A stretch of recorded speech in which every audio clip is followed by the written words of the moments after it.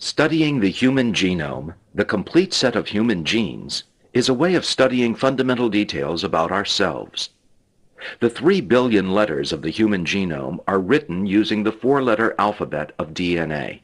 The DNA is divided among 23 pairs of chromosomes that are found in each of the trillions of cells in our bodies. In 2003, the Human Genome Project produced a complete representative sequence of the human genome. Of course, People are not identical, and DNA sequences do differ subtly between individuals. Currently, a number of separate projects are charting sequence variations found in human populations. The representative sequence is a composite from several people who donated blood samples. Originally, close to 100 people volunteered to give a sample of their blood. Each person provided their informed consent, affirming that they agreed to the study of their DNA.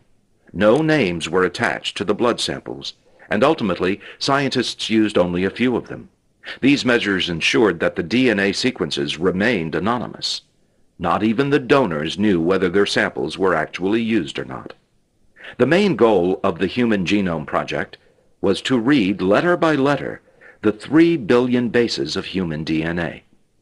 Before starting to sequence the human genome, scientists built maps of the chromosomes and developed and refined techniques for analyzing DNA.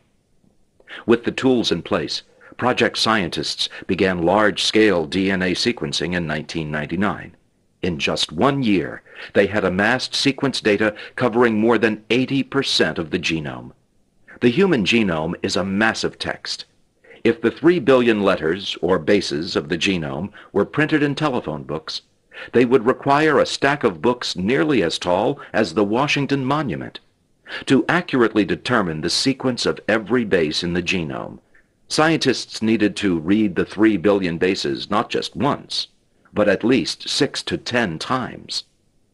Individual sequencing reactions could only reveal the order of a few hundred bases of DNA at a time, amounting to a fraction of a page. This meant that to place in order all of the DNA bases, it was necessary to produce many thousands of overlapping segments of DNA sequence.